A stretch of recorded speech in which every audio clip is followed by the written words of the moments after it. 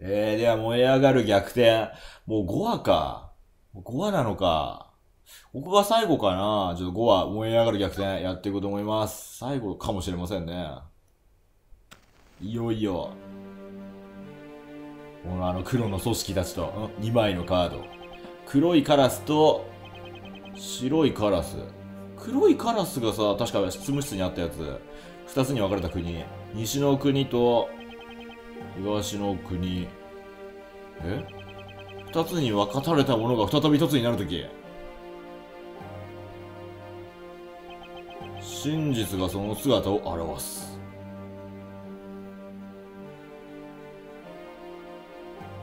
何ですか？あ、やばいやばい。燃えてる。いや、ヤタガラスだヤタガラスが出たぞ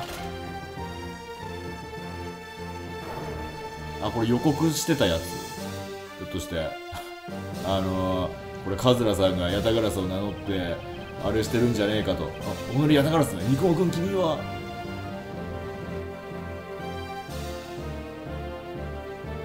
8時間前。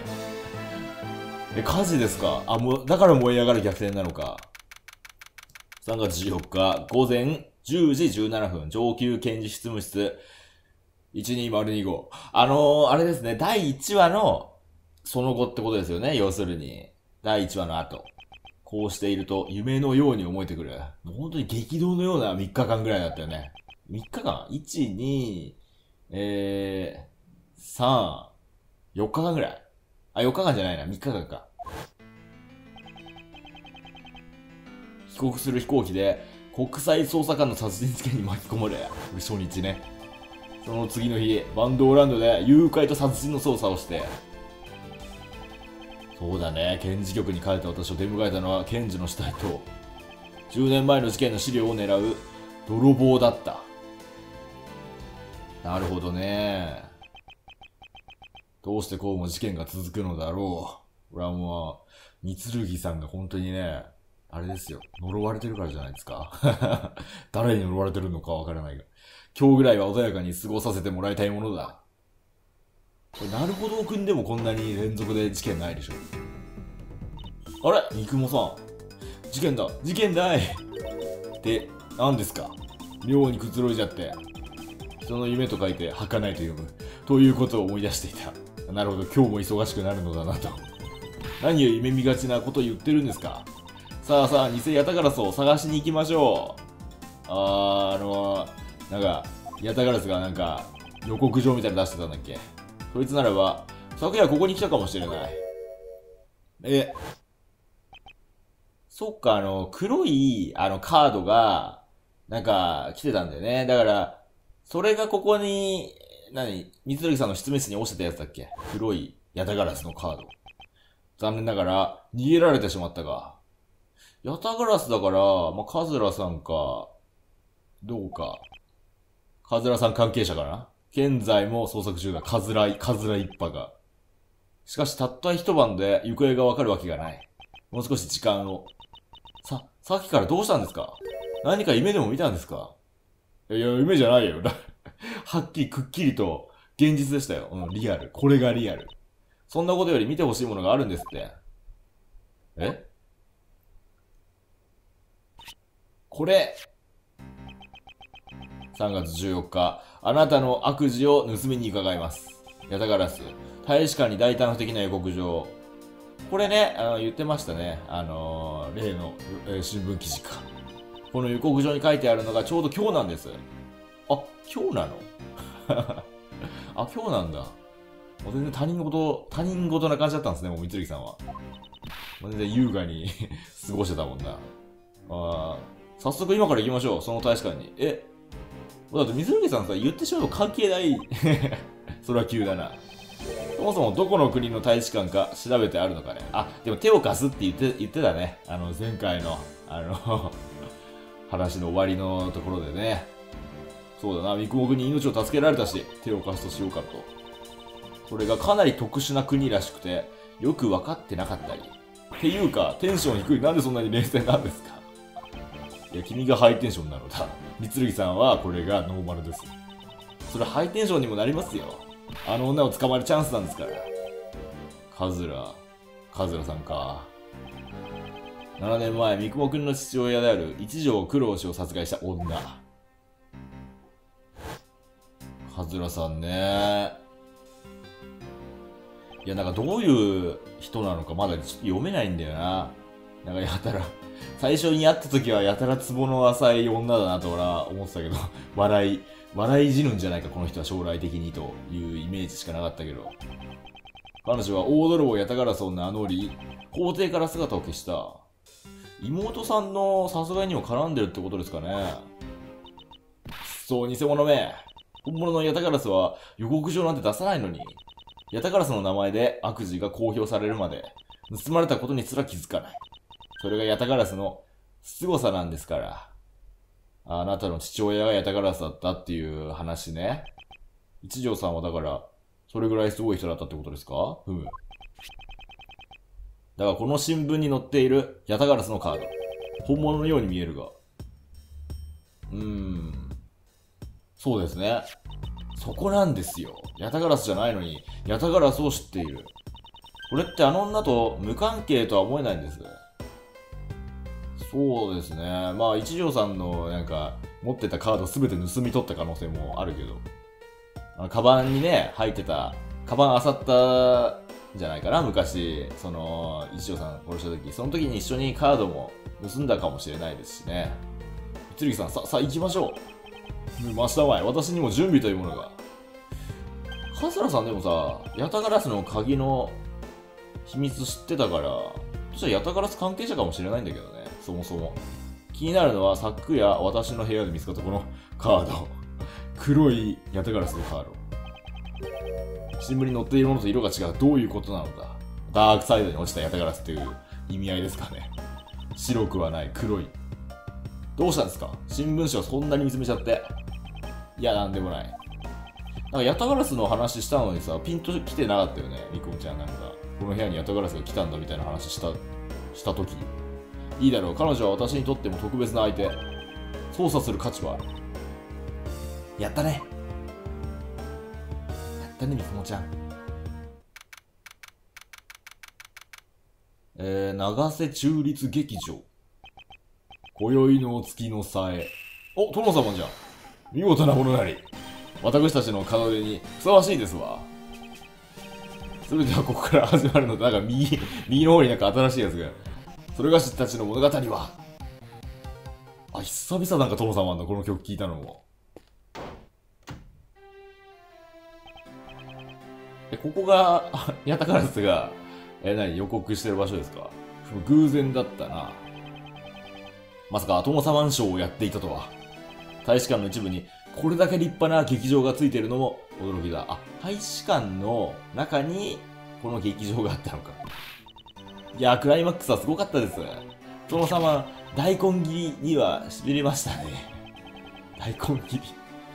確かに生で見る迫力は、テレビとは比べ物にならないな。それにしてもこの大使館の構造って不思議ですよね。二つの国の大使館が同じ建物の中にあるなんて。確かにここはかなり特殊な場所だ。まあ、トロ様はさ、よくよく考えればいろいろ、なんていうんですかね、過去にいろいろあったのによくこんな感じでやれるよね いろいろ事件に関わってきてるのにさ、大々的によく劇場とかでやれるよな。この劇場もその二つの国の共同保有という形になっている。あ二つの国の共有地、共同保有。えっと、さっきの殿様賞ですけど、主催しているのはその二つのうちの一つである、アレバスト、アレバスト王国の方みたいですね。アレバスト。どうやら向こうの国でも人気があるらしいな。そうみたいですね。えー。でも私はどっちかっていうと忍者なんじゃ派なんですよ。忍者なんじゃね。ありましたね。そんな私のために、ババル共和国の方が主催する忍者なんじゃ賞があるんです。あ、そうなんだ。それぞれ忍者なんじゃ忍者なんじゃ派と殿様派で分かれてるんだな。これも見逃せないです。殿様賞なんかに負けてられませんね。まあ三雲島確かに忍びみたいな服装してるしな。初めて会った時から薄々感じてはいたが、この子が目指しているのは、そうだね、盗人ではなく、忍者なんじゃないかと。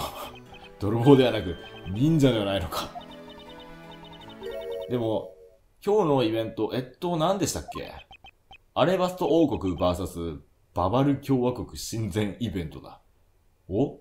なんかプロレスショーみたいな。なんだなんだ？ヨーロッパの小国であるアレバスト王国。そして、ババル共和国。もともとは自然が溢れた一つの国だった。いろいろ確執がありそうですね。コードピア公国という名のな。あー、なるほど。どうしたんですか、三剣さん？いや、なんでもない。話を続けよう。内乱の末、国が分かれた今でも一つだった頃の名残がある。なんか若干似てるもんね、あの国旗の感じが。それぞれの国旗に花と蝶の模様があしらってあるのだ。あ、言われてみたら。なるほど。コードピアか。そうですね、KG85 号事件。KG85 号事件、第2の KG85 号事件、そして今回ということか。コードピア広告。まあ結構やっぱり、ここに秘密が 隠されてるんですね。すべての秘密はここに。第2の KG85 事件と呼ばれた大使館員殺人事件。いずれの事件もコードピア広告に関わりがあった。この7年の間にコードピアは2つに分かれてしまったが、今にあってヤタガラスからの犯行欲がここへ届いた。どういうことだ？ひょっとしたらおとりかもしんないな。これ、三剣さんとか三雲ちゃんをここに呼び寄せるためのおとりなのかもしれない。そんな気がしてならない。三剣さん、やっぱり何か考え事してますね。これは失礼。今の、な、何の話だったかな？しっかりしてくださいよ、もう。ちょっとね、ロジック、ロジックの最中だった、今。ごめん。アレバスト王国 VS ババル共和国親善イベントのことですって。なんかババル共和国、なんかすごそうなんだよな。なんか、野蛮、野蛮そうなイメージがちょっとあるんだよな。仲悪いみたいですね、この、二国、二国。でも最近仲直りすることになったらしくて。それでこのイベントなんですって。仲直りするためのイベント。あ、絶対何かあるな。でもなぜバーサスなのだ そうだね。絶対さ、競い合う。まあ、競い合うっていうのはまあ、いいことだと思うんだけどさ。両国が本物を持っていると主張する国宝、大改造が、大改造が、今回の会談を通じて、公正な鑑定が行われる予定ですって。僕もくれぐれも横島な心は持たぬように。ちょっといろいろきな臭いイベントが起きようとしているな。お宝と聞いちゃ黙っちゃいられませんね。冗談で言ったのだが、不安だな。大丈夫でしょ。そう。みこもちゃんが盗むのは真実だけでしょだって。三剣さん、私たちは捜査に来たんですよ、捜査に。壮大な乗りツッコミだったのか、じゃあ、あれは。今のは。今までのは。分かっている。ヤタガラスが本当に現れるか、あ、わからないか。何、何普通にのんきにトノサマショーなんて見てんだよ。なんか、調べると、調べてみるとしよう。よし、調べよう。ね、えー、っと、この人たちはまた、あれですか、逆祭関係者ですか？今日のショー、なんていうか、すごくコメディだったね。そうだよね、なんていうか、最後が大根切り。笑っちゃった。姫様もさ、動きがすごく硬いっていうか、途中から腰とかトントン。それ私も見たよ。なんで姫様が腰痛なんだろう？姫様が腰痛？これまた逆祭関係者がやってんじゃないのか、中身。コナ様もコメディ、コメディだと？誰がやってんだろうなんか、ちょっと当てたいな、これ誰か。うーん、まあ今までの関係者で言うなら、まあ多分トノ様はニボサブさんだよね。ニボサブさんがや、まあでもニボサブさん引退したんだよな。引退したんだよな、あの件で。だ、どうなんだろう、誰なんだろう。女の人もな、腰痛持ちってさ、もう一人ぐらいしか頭浮かばないんだが。ああれ？これは、ジャネットさんじゃないですか、これ。どこや、どこにスクープおるんや？ちょっと兄ちゃん、邪魔や、話しかけんといて。これ絶対これ、面白い。絶対関わりますね、今回の事件に。うぅ。この女性、どうも記憶に引っかかるが、私の本能が関わるなと言っている。じゃあ避けよう。放っておくとしよう。まあ、どうせ関わることになるんだ、そのうち。これは？初代殿様のビデオを見ているようだな。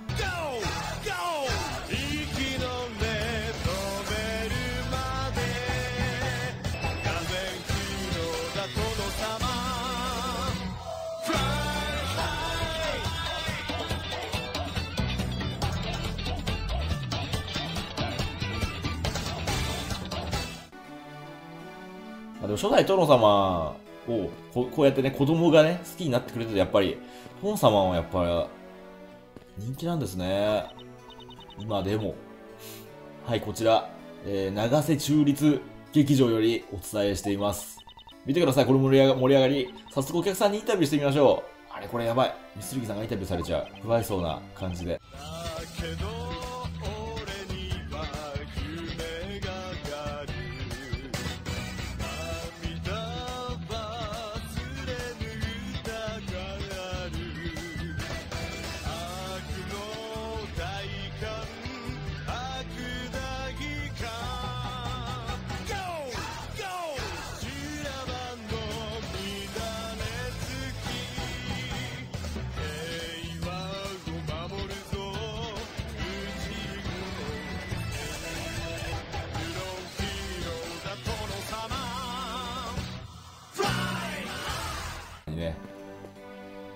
何調べられたろう。これか？大使館のパンフレットが置いてあるな。あー、なるほど。右がババルー大使館で、左がアレバスト大使館。絶対関わるだろうな、今回の事件に。やっぱり不思議な構造ですよね。今回の事件につって、もう事件が明るく、事件が起きることを予査してますけども、まあ、絶対起きるでしょ、これは。国が2つに分裂したのが数年前。それ以来、大使館も半分ずつ使っているらしい。え、新しく建て直すお金がないんですかねさすがにそういうわけではないと思うが。一つもらっておく。あ、これ大切だったんだ。なるほど。あれまだ調べてないとこありそうなもんだが。まあいいや、無難だ。なああ、ほら、殿様ですよ、殿様。それに、息子の若様もあー、あの、なんか、坊ちゃんみたいな感じの、ちゃーんみたいな感じのやつですよね、これね。えちょっと今回は誰が中やってんの？これ、ちっちゃいのも含めて。え、調べられない？あ、でもこの曲ずっと聴いてたいな、ちょっと。殿様、少しいいだろうか ちょっと、あのー、これはねあ、あくまでも尋問とかそういうんじゃなくて、普通にファン、ファンとして、一ファンとして、殿様か。殿様ってこんな感じだったっけ？なんかちょっと違う。三木さん、何を睨み合ってるんですか？む、失礼、ちょっと、ね、あのー、あれだ。サインをちょっともらおうか。失礼、スーパーヒーローを間近で見るのも 初めてなもので、あの、三剣さんの背中の、このジャケット、ジャケットのね、背中にでもいいから。あれ？スーツ、あ、スーツじゃない、ササイン、色紙、何か書いて渡してくれましたよ。三剣くんね、大江戸亭主、殿様、おっと、おっと これまた新シリーズなのか、これは。サインじゃないですか。よかったですよ、水木さん。あ、本当にサインもらえた。ありがたい。これはちょっと大根切りもちょっとしてほしいね。ちょっとね、この目の前で。大根切り見せてくださいって。ファンなら言いそうだから。殿様ん様。殿様ん様。サマンサタバサみたいな。カーネイジ、カーネイジさんこれから殿様はアレバスト王国に入国して大使と握手。二個国家我が国とも信仰を考えのあーそうなんですか。あー行った来たりするしてるんだね。まるで。親善大使だな。はーい次の中継入るよ。カメラ回りまーす Q 一応そのアレバストアレバスト側が主催してるのが殿様だから。うん、なるほどね。まもなくトロサマン賞に続き忍者なんじゃ賞が行われます。賞の後、忍者なんじゃはババル共和国に入国します。ババル共和国大使との会見が予定されているとのことです。なるほど。あ、次は忍者なんじゃ賞が始まりますよ。席に戻らないと。悪いのだが、私は忍者にはあまり興味がだな あ、そうなんですね。あんまり興味ないんですね。これ、これいきますよ。忍者なんじゃも変わってねえな 忍者なんじゃはまるっきり変わってねえな、これ。忍者なんじゃ誰やってんだろうギターさばきを見逃すわけにはいきませんから。忍者なのになんでギター弾いてるんだろうってね、前、前、前作で見た時も思ったけど、仕方があるまい。肉目に付き合うとするか。この1回で見ただけでね、ファンになるかもしれないですね。はい、カット。いやー、抜け人ララバイはいつ聴いてもいいですね。泣きのギターのメロディーに、つい、うるっと来ちゃうんだよな何より、あの切ない歌声、忍者なんじゃ最大の技ですよね。忍者関係ないですよね。っていう、ツッコミ待ちかな。あっちで売ってた、忍者なんじゃグッズ買わなくちゃ。いやー、楽しかったですね、忍者なんじゃ。じゃあ帰りますか。いやいややって、おいおいおいおい、みたいな感じになるんじゃないのこれ。操作に来たんですよ。超限定販売のかんざしが欲しいんですよね、なんつって。ヒロインのミスラ姫が指しているやつなんですけど、さて、そういえば、ミクモちゃんの頭にもなんか刺さってるもんね。さて、さてって、ちょっと三剣さん、なんだろうか。今帰ろうとしたでしょいやいや、そんなことしないよ。ヤタガラスが出てくる気配はない。手の込んだいたずらだったのだろう。ああ、なるほどね。本当に。まあまあ、もう現れそうにないから帰ろうかと。そんなことないですよ。絶対に現れますって。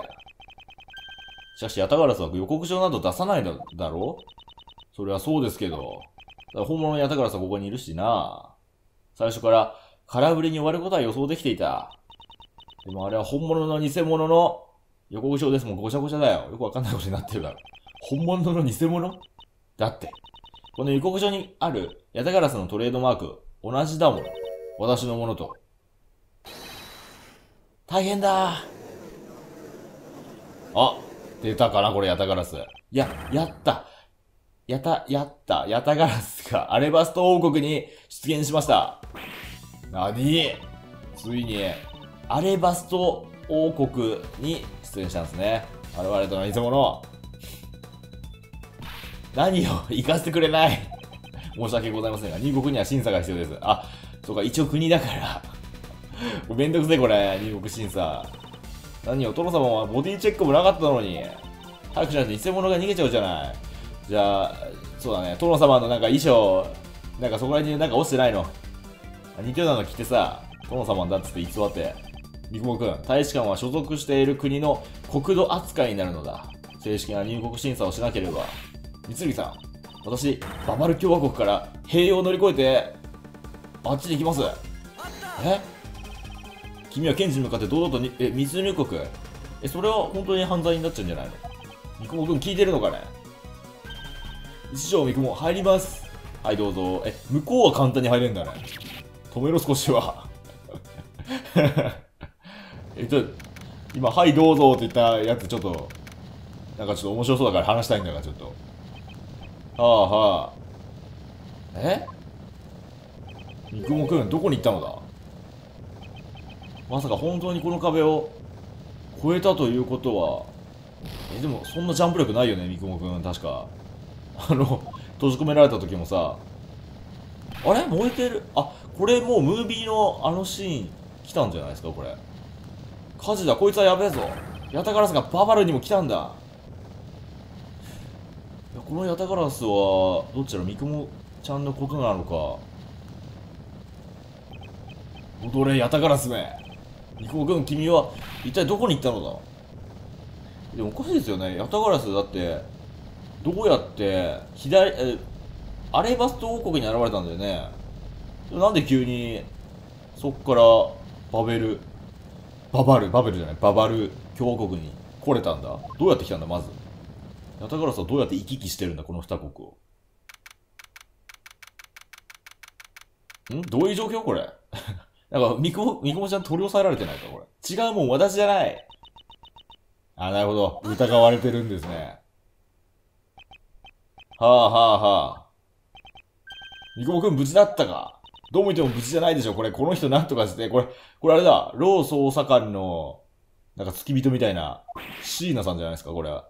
三剣賢治、糸の区切り刑事。これはどういうことだ？は、それがその、これっす。俺、これは、誰これ？私じゃないよ。私がヤタガラスを追ってこの部屋に来たらもう死んでたの。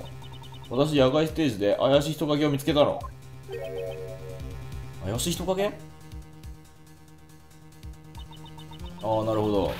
黒いコートのフードをかぶってて、すごく怪しかった。きっとこいつが偽物のヤタガラスだって思って、追いかけて大使館の中まで来たんだけど、見失っちゃって、きっとあいつが犯人だよ。黒いコート。何を騒いでいる想像しい。君は確かロー捜査官の衣装をしていた。なぜあなたがこんなところに？シーナと言ったな。あなたもあなたで怪しいけどね。現行犯逮捕ということは、三雲君が殺した確かな証拠があるのだろうな。言うてみ、答えないか。答える必要はない。おー、なんで？あなたはあくまでこの国のけ検事。捜査権はない。あんた、あ、違い法権か。あんたどういうことですか、それは。この国は、三剣検事のものっす。そんな権力は持ってない。地面が繋がってるところはどこでも操作できるっす。そういうことでもないんですね。犬の小切刑事。大使館だけは違うのだ。え、ここはあくまでババル共和国の国土。よってここで起きた事件は、ババル共和国の司法機関が担当する。まあそうですね。さっきのアレバストでも言われたようにさ、違い法権を持っているのだ。違い法権。そうだ。大使館の中では、この国の法律は通用しない。国家間でそう決められているのだ。でもあなたもあなたでさ、別にさ、関係なくない？あなただって別にババルの人じゃないわけでしょ？私たちの捜査権はあくまでこの国の法律にのっったもの。ここでは通用しないのだよ。そんな。ここは国際、あ、この人国際警察、国際警察は大丈夫なのかな？そういうのは。ここは司法機関が、あ、司法、あ、こ、ん？ここは国際警察が取り仕切らせてもらもらう。あなた方は帰るといい。ちょっと今日、今日ちょっとね、もうカミカミでやばいですけど。むむむ。三剣検事。ちょっと、三剣さん。その捜査、私も参加させてもらうわ。来た。来たあれ？そうだ。メイちゃんも国際警察ですよね。じゃあ、メイちゃんがにお願いしよう。そう、ウェップ。いい時に来てくれた。ダミアン大使、総裁のご協力、感謝いたします。何の被害者のマニー君は私の秘書だ。協力するのは当然のことだよ。あ、この国の大使。じゃこの人にお願いすれば操作できるんじゃないの？こちらこそ国際警察の方に来ていただいて助かった。カルマ検事。こんなところで会うとは思わなかったわ。私もです。ここは大使館。あなたに捜査権は何のつもり？同じことを今ね、聞いたんです。全く同じようなことをね。ダメな大使。ん？なんだ君は。検事の三剣礼二と申す。カルマ検事の助手として、今回の捜査に協力させてもらっている。アドリブを聞かせて、あ、メイちゃんどういう反応するだろう。助手？レイジ、あなた一体、よろしくお願いするダミアン大使。まあ、だからね、メイちゃん、あなたの下につくってことですよ。まあいいでしょう。あなたの下につくんだから。うん、カルマ検事、三剣検事、こちらこそよろしく頼むよ。あの、どういうことですか？助手って。仕方あるまい。こうでもしなければ捜査に参加できそうもなかったからな。国際警察の参加に入るっていう。まあ、手っ取り早い。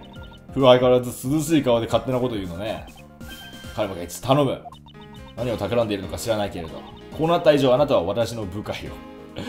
まあじゃあまず靴を舐めなさいみたいなこと言われそうなんか。やめて。眠たい操作をしたら目覚ましの無知が飛ぶことを忘れないことね。それ普段通りでしょ、それ別に。あなたの、あなたの部下じゃなくてもやられてるから、それは。うむ、心得た。ふざけた真似を。さて、操作を始めさせてもらおう。とりあえず、ちょ、三雲くんをちょっと話してくださいよ。お、始まった。